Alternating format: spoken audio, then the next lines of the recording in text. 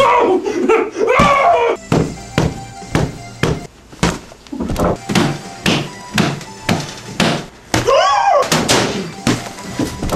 Was she at least dead when you fucked her?